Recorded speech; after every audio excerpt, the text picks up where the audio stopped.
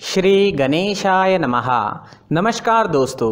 दोस्तों, ये राशिफल चंद्र राशि पर आधारित है। चंद्रमा मन के कारक है। हमारे मन पर जो भी उतार चढ़ाव आते हैं, वो चंद्रमा की स्थिति ही लेकर आती है। इस वजह से चंद्रमा की पोजीशन हमारे रोज के जीवन को बहुत ज़्यादा प्रभावित करती है।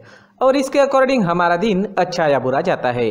तो आइए जानते हैं इस दिन चंद्रमा आपके लिए किस तरह के परिणाम ला रहे हैं। दोस्तों, इस दिन चंद्रमा आपकी कुंडली में आठवें स्थान में रहेंगे। इस जगह पर चंद्रमा का होना ठीक नहीं होता है। इस समय में आपको कई मामलों में तकलीफें उठानी पड़ सकती है, लेकिन कुछ मामलों में सफलता भी इस दिन देखने को मिलेगी। चंद्रमा मन के कारक होते हैं और चंद्रमा के अष्टम भाव में होने से इस दिन आपका मन परेशान रह सकता है, चिंतित रह सकता है। आप किसी पुरानी उलझन में उलझे नज़र आओगे। इस समय में किसी अपने की याद भी आपको सता सकती है। इस समय में आप इमोशनली काफ़ी वीक रहोगे। जी हाँ इस समय में आप इमोशनली काफ़ी वीक रह सकते हैं। किसी से भी मनमुटाव बड़ी आसानी से हो सकता है। इस समय में आपको लड़ाई झगड़ों से बचना होगा। पारिवारिक कलकलेश से बचना होगा। इस समय में आप अकारण ही दुखी हो सकते हो और आपके आसपास के लोगों को आप अपने स्वभाव व कटु बोली की वजह से दुखी कर सकते हो। इसलिए आज आप शांत रहे और अपने कामों में व्यस्त रहे।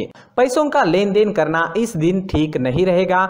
लेकिन अचानक से धन प्राप्ति के योग अष्टम भाव आपको दे रहा है। दोस्तों, चंद्रमा के अष्टम भाव में होने से आपको वहाँ से धन प्राप्त हो सकता है, जहाँ से आपने कभी सोचा भी नहीं था।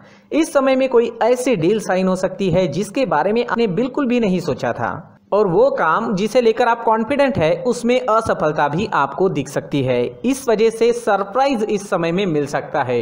वो सरप्राइज़ अच्छा भी हो सकता है और वो सरप्राइज़ आपको दुखी भी कर सकता है। इसलिए ये दिन आपको सावधानी पूर्वक निकालना ज़रूरी होगा। इस समय में आपके शत्रु आप पर हावी हो सकते हैं तो आपको सावधानी बरतनी काफ़ी ज़रूरी रहेगी। इस समय में यात्राएँ भी संभल कर करनी होगी। चोट लगने के योग भी बन रहे हैं। इस समय में सेहत से संबंधित परेशानी भी घेर सकती है। सिर में दर्द रह सकता है, पचन शक्ति कमज़ोर रहेगी। इस समय में अगर बीपी की परेशानी है तो अपना खास ख्याल ज़रूर रखें। अपने मेडिकेशन का अच्छे से ध्यान रखें और अपने खाने पीने का ध्यान इस दिन आपके लिए रखना बेहद ज़रूरी है। इस दिन के लिए अगर कोई प्लान बनाए हैं तो उसमें असफलता मिल सकती है तो थोड़ा सावधान रहे। उपाय ज़रूर करें, ताकि दिन आपके लिए बेहतर बन सके। ये जानकारी आपको सतर्क करने के लिए है। पहले से ही उपाय कर ले तो हो सकता है दिन बहुत बढ़िया जाए। स्टूडेंट्स के लिए भी ये दिन कुछ खास नहीं रहेगा। पढ़ाई में कॉन्सेंट्रेट नहीं कर पाओगे। कोई ना कोई रुकावट आपको डिस्टर्ब कर सकती है। आज अगर आप चंदन या केसर का तिलक अपने माथे पर लगाते हो तो आप शांत रहोगे। आपका मन शांत रहेगा, सिर दर्द भी नहीं होगा, दिन काफ़ी अच्छा जाने की संभावना रहेगी। तो आज चंदन का टीका अपने माथे पर ज़रूर लगाएँ। अगर पर्सनल लाइफ की बात करते हैं लव लाइफ की बात करते हैं तो लव रिलेशनशिप में आपको इस दिन अपनी बोली पर नियंत्रण रखना काफ़ी ज़रूरी रहेगा। इस दिन आपको तोल मोल कर बोलना अच्छा रहेगा और एक दूसरे की गलतियों को इस दिन नजरअंदाज करें तो ज़्यादा अच्छा रहेगा। इस दिन आप कोई बड़ा अहम फैसला ना ले, थोड़ा रुक जाए तो ज़्यादा अच्छा रहेगा। इस समय में आपको विदेश से धन कमाने का अच्छा मौका मिल सकता है। विदेश सेटलमेंट के भी योग अष्टम भाव आपको ज़रूर देता है। दोस्तों, इस दिन ऑरेंज रंग का इस्तेमाल करना आपके लिए शुभ रहेगा और नौ अंक इस दिन आपके लिए लकी साबित हो सकता है। दोस्तों, प्रार्थना में किसी भी उपाय से ज़्यादा शक्ति होती है। तो अपने इष्ट देव को याद करें, उनका आवाहन करें। और उनसे प्रार्थना करें कि आपका ये दिन काफ़ी अच्छा रहे। मौज मस्ती भरा रहे। दोस्तों, साथ ही इस दिन मंदिर ज़रूर जाए और भगवान से प्रार्थना करें और साथ ही एक रुपए का सिक्का मंदिर के मुख्य गुल्लक में डालना ना भूलें। इन उपायों से आपका दिन काफ़ी अच्छा जाएगा। अपनी सोच पॉजिटिव रखें और जीवन के हर पल का आनंद लेने की कोशिश करें। दोस्तों, ये राशिफल चंद्र राशि पर आधारित है। लेकिन कभी कभी हमारी पर्सनल कुंडली में बाकी ग्रहों की पोजीशन कुछ इस तरह की होती है कि आपके राशिफल परिणाम में बदलाव दिख सकता है। इसलिए राशिफल को एक मार्गदर्शन के तौर पर लिया जाए तो ज़्यादा अच्छा रहेगा। दोस्तों, सभी राशि के लोगों के लिए, जीवन में आगे बढ़ने के लिए कुछ ज़रूरी बातें वीडियो में आगे बताई गई है तो वीडियो आगे ज़रूर देखें। नमस्कार दोस्तों। व्यक्ति को अपने जीवन में सफल होने के लिए मेहनत के साथ साथ भाग्य का साथ होना भी बहुत ही आवश्यक होता है। अगर व्यक्ति का भाग्य उसका साथ देता है तो कम मेहनत में ही अधिक सफलता प्राप्त होती है। परंतु कई बार ऐसा देखा गया है कि व्यक्ति के जीवन में कई ऐसी घटनाएँ घटित होती है, जिसकी वजह से उसको बहुत सारी परेशानियों का सामना करना पड़ता है। और इस स्थिति में व्यक्ति को बिल्कुल भी समझ नहीं आता कि ऐसा क्यों हो रहा है। दरअसल, आपके घर में ही कुछ ऐसी चीज़ें होती है, जो हमारे भाग्य को प्रभावित करती है, हमारे जीवन को प्रभावित करती है। और उन चीज़ों के आसपास होते हुए भी हमें वो चीज़ें नज़र नहीं आती, वह चीज़ें हमारे चारों तरफ़ एक अजीब सा घेरा बनाकर रखती है, परंतु हम उसको नहीं देख पाते।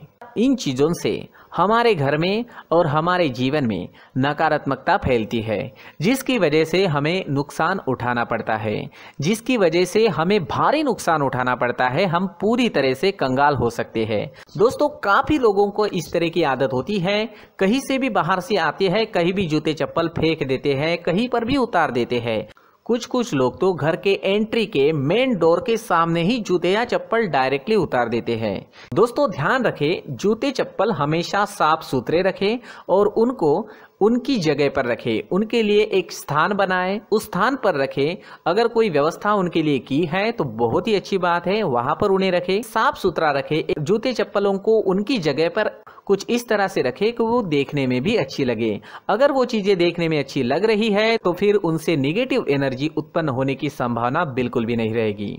साथ ही दोस्तों, एक और बात है जिस पर आपको ध्यान देना बहुत ज़रूरी होता है, हमारे घर के छत के ऊपर। जिन चीज़ों का हमें काम नहीं होता है, उन्हें हम घर के छत के ऊपर रख देते हैं। ऐसा करते करते देखेंगे तो घर के छत के ऊपर कबाड़ जमा दिखता है। जी हाँ जो चीज़ें हमें लगता है आगे जाके हमारे काम में आ सकती है, वो हम घर के ऊपर रख देते हैं। लेकिन वो चीज़ें तो काम में नहीं आती, हमारे जीवन पर वो चीज़ें बहुत ही गहरा निगेटिव इफ़ेक्ट डालती है। इस वजह से घर के छत को पूरी तरह से साफ़ रखें क्लीन रखें। साथ ही दोस्तों, हम हमेशा देखते हैं, घर के ऊपर जाने के लिए जो सीढ़ियाँ हैं, उन सीढ़ियों के नीचे जो जगह होती है, वहाँ पर सामान हमेशा रख दिया जाता है। वो जगह ही ऐसी है कि सामान को खींची लेती है। वहाँ पर आपको कुछ ना कुछ सामान मिलेगा ही। अगर हम सीढ़ियों के नीचे सामान रखते हैं तो हमारी उन्नति होना बहुत ही मुश्किल है। साथ ही दोस्तों, अगर आपके घर में ऐसी कोई चीज़ मौजूद है जिसका आपको काम नहीं है, जैसे टूटे फूटे बर्तन, आईना, तस्वीरें, इलेक्ट्रॉनिक सामान, सोफा, कुर्सी, टेबल, पलंग, घड़ी, झाड़ू, गमला इत्यादि तो आप इन सामानों को अपने घर से तुरंत ही बाहर निकाल दीजिए, वरना इससे आपको बहुत बड़ी परेशानी हो सकती है। आपको ये चीज़ें कंगाल बना सकती है। तो घर में ऐसी चीज़ों का मौजूद होना शुभ नहीं माना गया है। इससे धन की देवी माता लक्ष्मी जी का प्रवेश घर में नहीं होता है। इन चीज़ों से आपके घर में नकारात्मक ऊर्जा का संचार होता है और जिस वजह से व्यक्ति को मानसिक समस्याओं का सामना भी करना पड़ता है। व्यक्ति के मन में चिड़चिड़ाहट होती है और छोटी छोटी बातों पर गुस्सा आने लगता है। आप जो भी कार्य करते हैं, उसमें आपका मन नहीं लग पाता है। इस व्यक्ति का जीवन घर में मौजूद इन चीज़ों की वजह से अंधकार में डूबने लगता है। इसलिए आपको घर में बिना काम की चीज़ें कूड़ा कचरा नहीं रखना है। दोस्तों, एक और खास बात है। हमारे घर में मकड़ी का अगर जाला है तो वो बिल्कुल भी शुभ नहीं है। जी हाँ वो अशुभ माना जाता है। घर में मकड़ी का जाला होना अशुभ है। इससे आपके अच्छे दिन भी बुरे दिनों में बदल सकते हैं। क्योंकि मकड़ी अपना जाल शिकार को फंसाने के लिए बनाती है। हर एक चीज़ हमारे घर की हम पर प्रभाव डाल रही है तो इन चीज़ों को ध्यान में आपको रखना होगा। तो दोस्तों, कुछ ऐसे छोटे मोटे बदलाव करके हम हमारे जीवन में खुशियाँ ला सकते हैं, तरक्की ला सकते हैं, धन ला सकते हैं, माँ लक्ष्मी जी का प्रवेश हमारे घर में हो सकता है। तो इन चीज़ों को ज़रूर आजमाएँ। इस तरह के बदलाव आप आपके घर में ज़रूर करें।